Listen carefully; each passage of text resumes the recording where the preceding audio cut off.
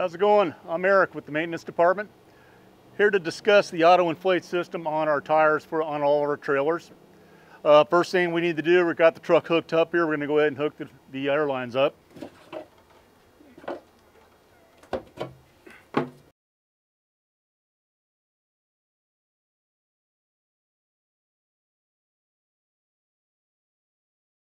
Okay, we're gonna get in the truck, build up some air pressure, and then we'll go check everything out. So the first thing we're gonna do is go ahead and start the truck up. We're gonna build air pressure.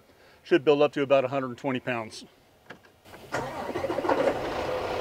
You always wanna make sure before you move the truck it is above 100 pounds, otherwise the transmission will not operate.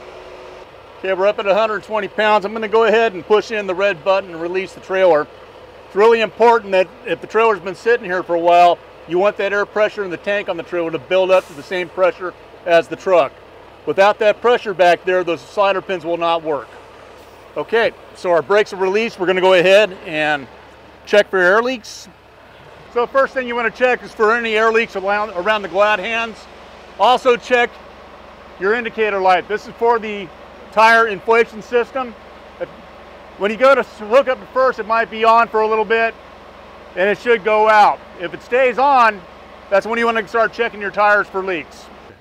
This is the apparatus that actually fills the tires up. There is a pass-through tee in there that brings air into these lines that are hooked to the tires. It will fill the tire up to 100 pounds to 105 pounds. Um, it's on all the time, so if you run over a nail or something, it will keep that tire inflated until you can get someplace. When you do your pre-trip, always thump your tires, listen for leaks. Uh, if you have a leak, or a flat tire, if it's on the bead, let it build up. It will build air pressure back up. Call us, we'll get you to a tire shop and get it fixed. Just a real quick note, back here is your ABS light. If there's any issue with the ABS, the anti-lock brake system, this will light up. Just make sure you don't get this confused with the white light up front. It has nothing to do with that. This is for brakes. The white one up front is for tires.